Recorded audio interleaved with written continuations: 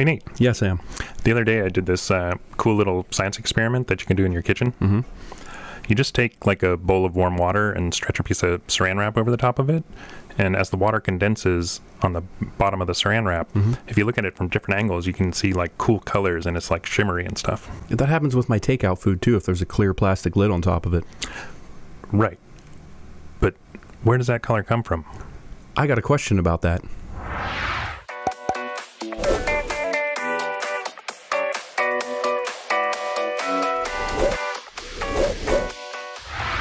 Welcome to another episode of Hey, I got a question about that.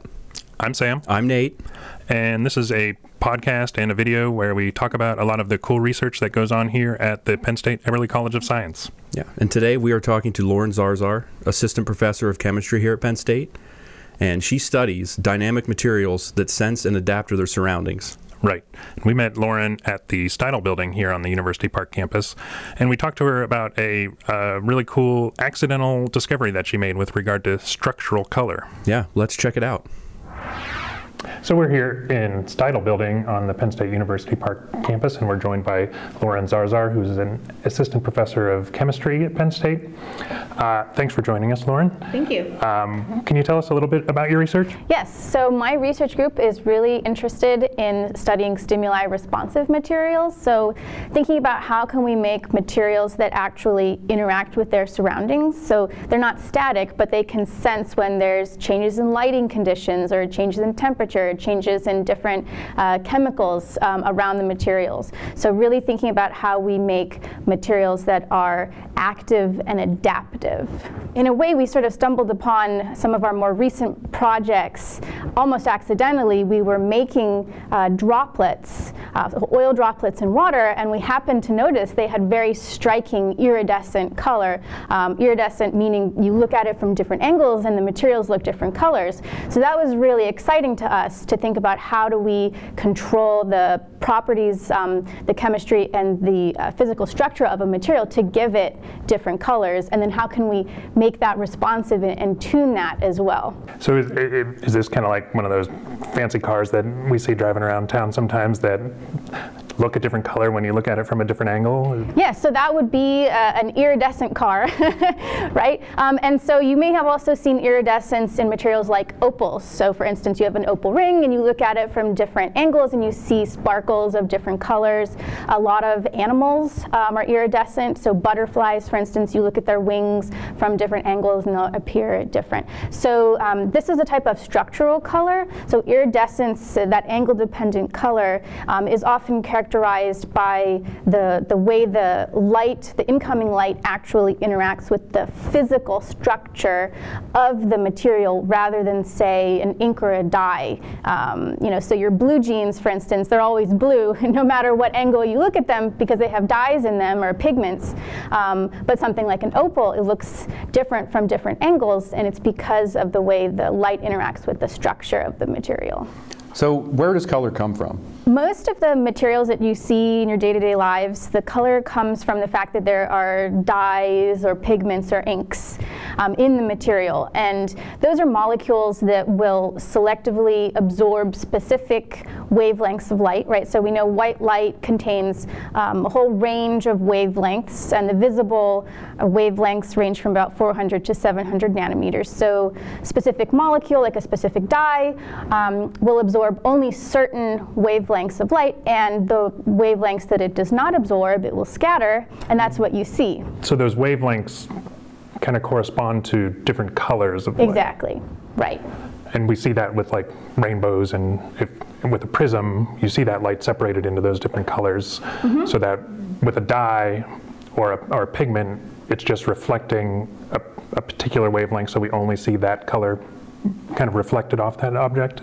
Correct. And no matter what angle you look at that object, or no matter what angle you shine that white light at it, it will always absorb the same wavelengths. Therefore, the color you see also looks the same, and it doesn't have any angle dependence. So how is that different than st- structural color, which is this kind of, are those kind of the two main categories of color? Right. So for materials that have structural color, if you were to look at consider the actual material it's made out of. So if we look at a, an opal, for instance, um, they're made of silica, so it's basically glass, right? And we know glass is pretty much clear. So in terms of the actual material, it's a clear material, so it's not selectively absorbing wavelengths of light due to some dye or pigment in the material. Rather, what's happening is the light is interacting with structures inside the material. Um, usually, for structural color, there's some periodicity in the structure on the order of the wavelength of light.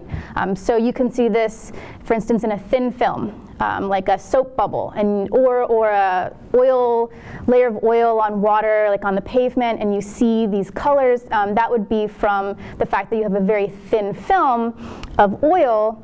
Um, the thickness of that film is on the order of the wavelength of visible light, and that causes interference. And where you get destructive interference, we don't see any color. Um, and where you get constructive interference, that's where you would end up seeing the different colors.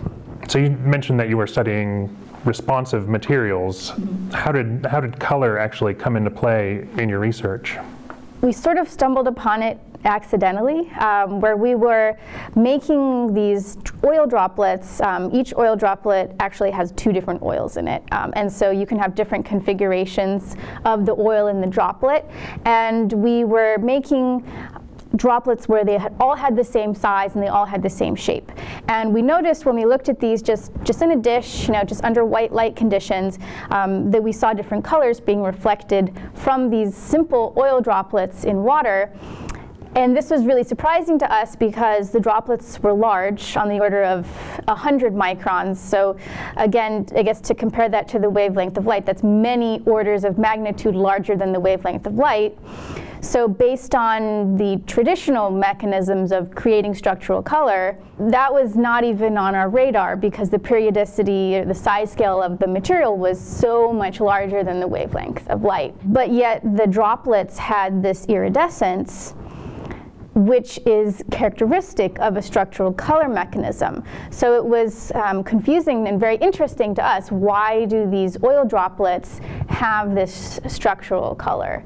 Um, we've also noticed this effect in um, even simpler systems, just water condensed onto a surface. So if you just take a clear plastic film and you condense water on the bottom of it. So we often do this by taking a clear dish with warm water in the bottom, putting the lid on the dish, letting the water evaporate, and you get water condensing on the lid, and you see these same reflected colors, um, which turns out to be the exact same mechanism. So we were seeing this effect in really simple materials but that had geometries that were many orders of magnitude larger than the wavelength of light. You see these iridescent colors in these droplets. How is that different from how, say, a rainbow is formed? You know, actually, we when we first saw it, that was one of the ideas we had was, well, maybe it's just the same way how a rainbow works. Um, and a rainbow is created by the fact that you have light refraction and dispersion in water droplets that are in the atmosphere. So this was our first thought. Uh, and we have some collaborators that we've been working with um, at MIT. We went to them with this problem and we thought, oh, this should be easy to model. It's just refraction and dispersion and we'll understand what's going on.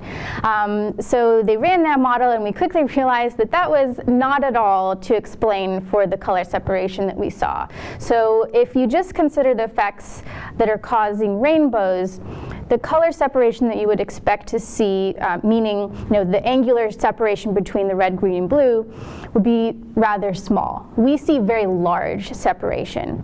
Also, the order of the colors uh, would be different. So we have our normal red, green, blue order we expect for um, looking at a rainbow in the sky, but actually the order in which we see um, is flipped in many of the samples that we were looking at. So there were a few clues that this was probably not really contributing. It's contributing, but it's not the main cause of the effect that we were seeing. So when you say you see bigger separations, does that mean the the the colors kind of don't blend into one another?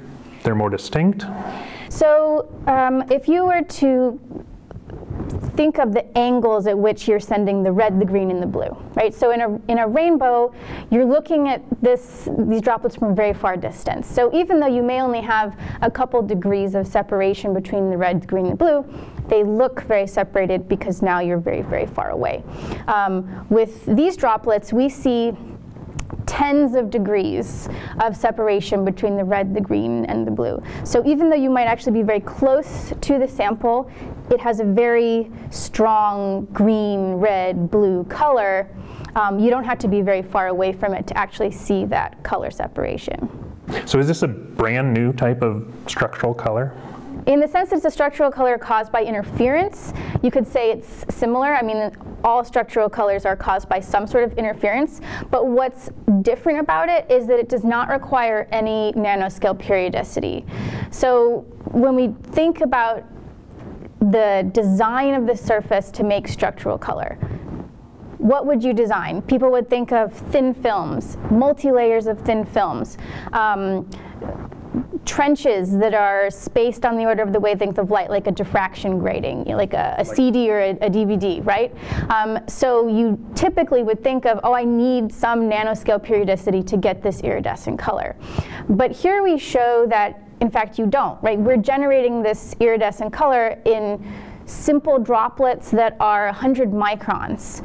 Um, and it's because the, of the way the light interacts with the material through this total internal reflection. Right? So if you have a droplet, like a, a, concave droplet hemisphere, light can bounce around at that surface many times. Um, and it can also take many different trajectories. And so light that's undergone two or three or four different bounces at this interface, those different paths of light, they have different path lengths. That's what leads to the interference. Um, and you don't need this very precise nanoscale periodicity that you would normally think of. So I liken it to a sort of new design principle for surfaces or materials that can give structural color. And now that we know this, right, how can we rationally design surfaces to control light in new ways that we wouldn't have thought of before? So are there practical applications for this information? Again, in just our day-to-day -day lives, right, color is so important to how we interact with um, the materials around us. And so from that perspective, you could imagine imagine paints or coatings, cosmetics, these sort of things, where we now have an ability to make this iridescent structural color. We can make them uh, on solid surfaces. We can make them in, in powders. So you could think of using it for that purpose, and this might replace, for instance, um, nanoparticles or nano features that you might have otherwise need to use in a coating. Um, and you can make this iridescent color with just microscale structures. Um, also, um, sensors, for instance, colorimetric sensors, so we, we can make this color in these uh, biphasic oil droplets, which we've done other research to show that the shape of these droplets is very sensitive to stimuli in the surrounding water. So if you can make the droplet shape which gives a specific color, you can make that shape sensitive to some analyte of interest. You may be able to use it for a very low cost, low power, aqueous phase sensing mechanism. Um, so that's certainly a possibility. And then just for sort of fundamental optical exploration, if you want to control certain wavelengths of light in different ways and reflect them in different directions, right now we can design a new structure, surface, that allows us to control light in, in different ways that we weren't able to do before. So could you, could you just like 3D print a bunch of these kind of hemispheres on, on a surface to, to make something? Yes, yes, you definitely can. So uh, Penn State actually has a commercially available uh, multi-photon lithography system called the NanoScribe.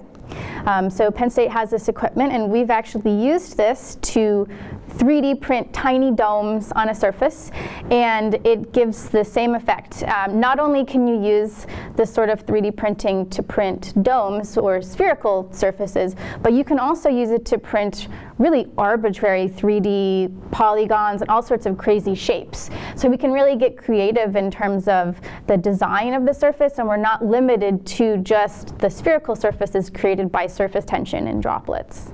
And then, is, are there aspects of the droplets that allow you to control the color? Well, the nice thing about liquids is that they're deformable. So if we want to create a surface that responds to different stimuli, changes its color, liquids are really nice because we have ways of controlling things like the contact angle of a liquid on a surface. Um, and so it's dynamic. If, if we're making the surfaces completely out of solids, we'll have to come up with different ways of making it responsive. Um, options are you could always use some sort of responsive polymer.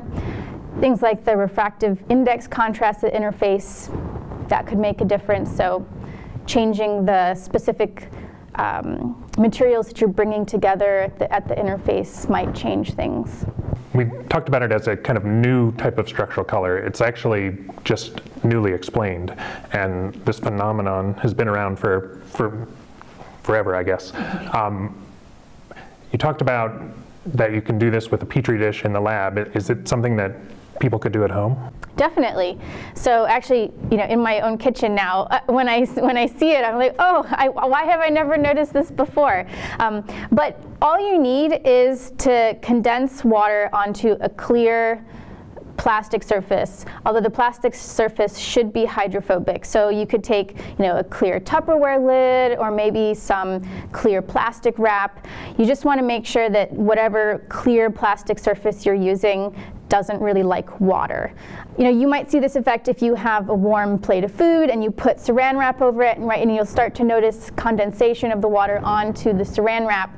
Um, if you look very early on in the condensation, you'll be able to see some glitters of color. Um, the catch is that if you have droplets of all sorts of different sizes, even though each little droplet will be reflecting specific colors, the fact that you have lots of different sizes, now all those colors are sort of mixing together when they reach your eye.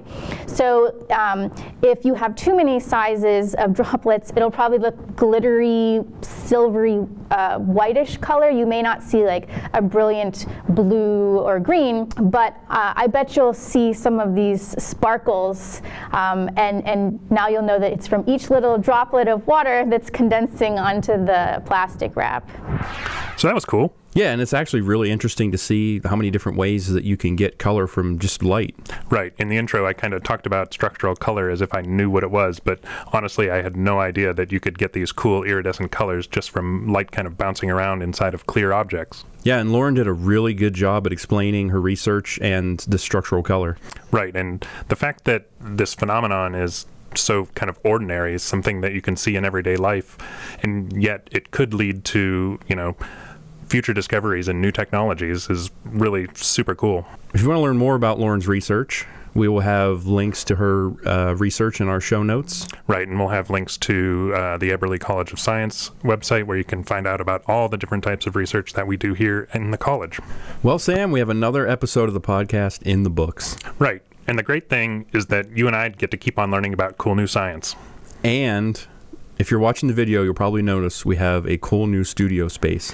That's right. We are no longer stuck in a corner, and we're really stepping up our game here at Hey, I Got a Question About That. Yes, and we have many questions left to be answered. So if you haven't checked out our previous episode yet, be sure to go back and watch our episode with Jason Wright. And be sure to tune in for any future episodes. Right. So thanks a lot for joining us. Yeah, we'll see you next time. Bye. I need to get my face back under control. Do you want to go with the rainbow question now? Kind of. What was the rainbow question? We had some accidental science up in here. Once again, so much better than us. People want us. We're the stars of this show. Nobody cares about the research. We might not even have jobs here anymore by the time this comes out. More pep. We like Dan TDM. Hey everyone! Oh, you got to use that voice. All right, we're gonna forget all this, but let's go for it. Certainly helped us better understand color. So, yeah. So I was just trying to figure out how I was going to do that and lost, totally lost it. Right. And you and I just get to keep on learning. Oh, no, no, no. Freaking choked on my own spit. if you want to learn more about Lauren's research, Lauren's research, have you ever wondered if the Nittany Lion was a real thing?